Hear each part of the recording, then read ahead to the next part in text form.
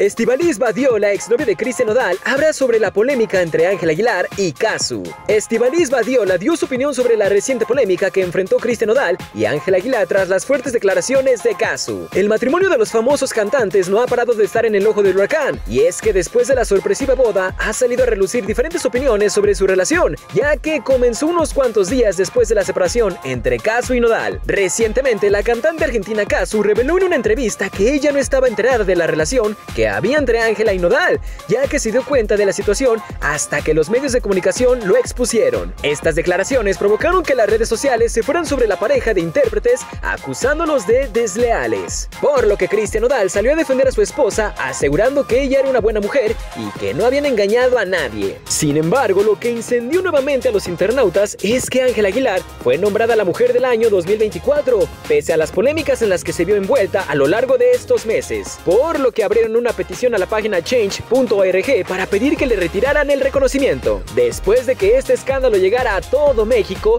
se le cuestionó a Estebaliz, exnovia de Nodal, sobre su opinión ante los señalamientos que realizaron a la pareja de esposos, por lo que la joven apuntó a decir que cada quien debe hacerse responsable de su vida pública. Todos somos libres de ser felices y de estar con quienes queramos. En esta vida se viene a ser feliz. Yo creo que al estar en el ojo público, todos estamos expuestos, mencionó Badiola en un programa. Los usuarios aplaudieron la respuesta de Estivalis, pues aseguran que para ella fue un capítulo que ya se cerró y que la situación de su ex ya no repercute en ella. Pero dinos, ¿qué te parece? Cuéntanos a través de los comentarios que te estaremos leyendo. No olvides darle like al video y compartirlo. Recuerda visitar nuestro sitio web xfm.com y, ¿por qué no? Descarga nuestra app XFM, ya que ahí encontrarás muchos más chismecitos y las mejores actualizaciones de la farándula. Nos vemos hasta la próxima y recuerda, en todas partes, ponte exa.